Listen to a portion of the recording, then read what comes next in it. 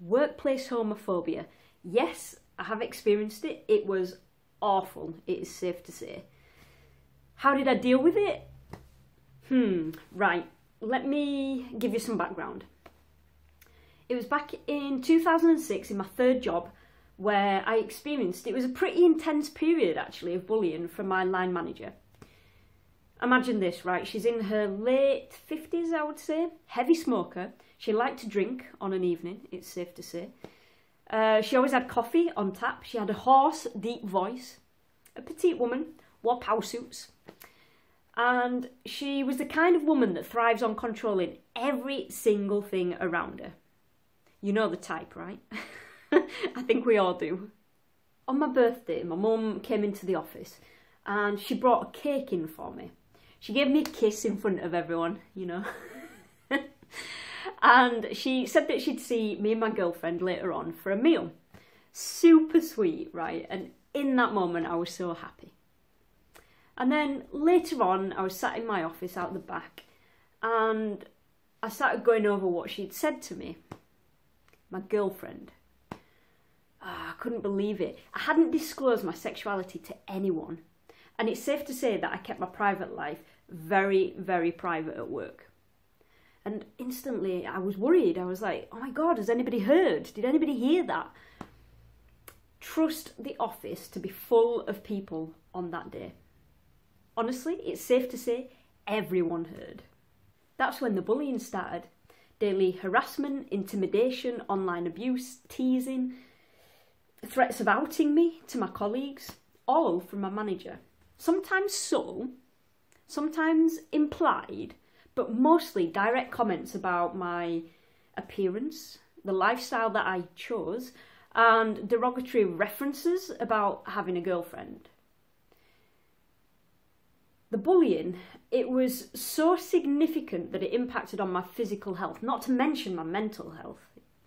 You can imagine the stress that I felt on a daily basis, it resulted in me having IBS, irritable bowel syndrome. If you've been following me for a while, you'll know that I've talked about this before. And I I became unable to teach classes in the mornings. I could only teach afternoon and evening classes because of my symptoms. They were so severe in the mornings, which was, surprisingly, the time when my manager was in full swing. I mean, it's kind of crazy, right, when you think about it. Whoever heard of a teacher that can't teach in the morning? Did I report it? Well, initially, no. No, I didn't. I was too afraid to out myself, basically, to the leadership team. You see, I'd have had to have explained the context of the bullying and show them the emails, and as soon as I did that, they would know that I was gay. And I didn't want anyone else at work to know that about me. It didn't feel safe to bring all of who I am to work. But eventually, yes, it reached a point where I couldn't take it any longer. I felt like I had to report it and her behaviour. What happened? Yes, so the woman involved, she was promoted, and HR told me not to progress the case any further because it had highlighted my sexuality to my colleagues and peers. I couldn't believe it. You know, even though I'd documented a year of incidents, emails, communications, and I had witnesses, I was devastated. You know, after all that time and effort of logging every single incident and interaction with her, I can honestly say that I felt let down by the college and the people that claim to look after their people. You'd think that that is where the story would end, right? You know, you experience homophobia in the workplace, you report it, it didn't go as well as you expected it would. And yes, for most people, the story would end there. But for me, it didn't. I realised that I needed to process it. It was, it was eating me up inside. So this is what I did to deal with it. There's three things, okay? So the first thing that I did is I journaled about it. I took some time out and I wrote down what I experienced. I wrote about how it made me feel, how I responded, both in the moment and afterwards, and I'm talking physically, mentally, and emotionally. I got it all out onto paper, and by doing this, I was able to process the experience and, most importantly, strip away the emotion and the story that I'd attached to it.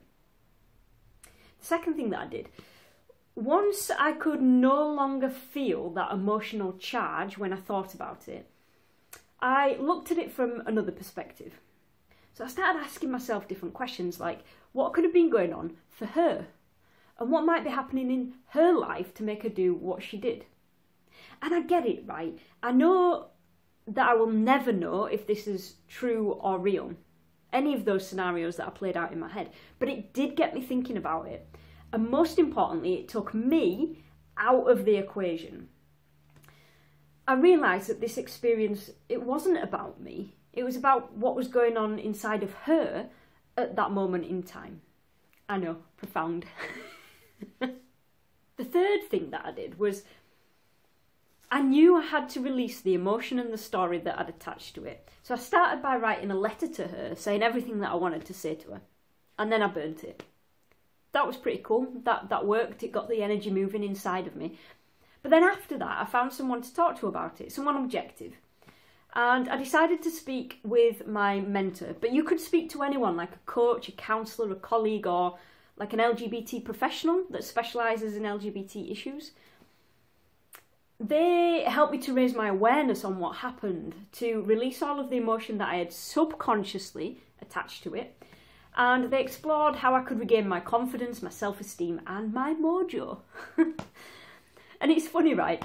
I didn't realise back then that only a few years later I would be that LGBT professional that people wanted to speak to about their LGBT related issues and challenges. Who'd have known it?